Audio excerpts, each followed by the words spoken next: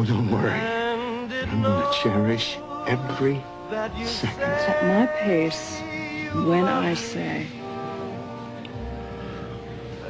You are a lady of such contradictions, you know. Skin, Olivia. Your skin is so soft.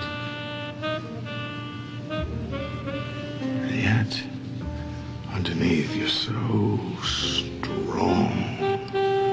So tough. I'm not such a mystery, Alan. I just love my husband.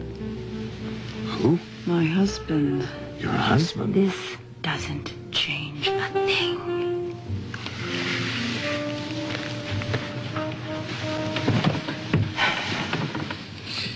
Every time we do business, I'll think of this, Olivia. Every time I pass you on the street, I'll think of this. Every time I see you at a party. You're gonna think about me. And no, I've been thinking about you. Now, I'll think about us. there is no us. oh, really? Well, what do you call this? Absolutely necessary.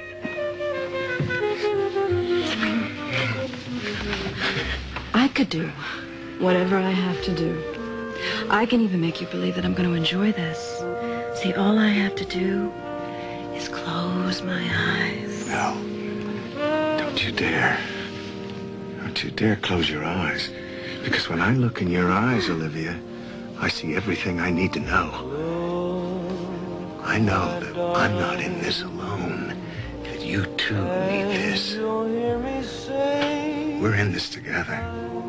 Just the two of us.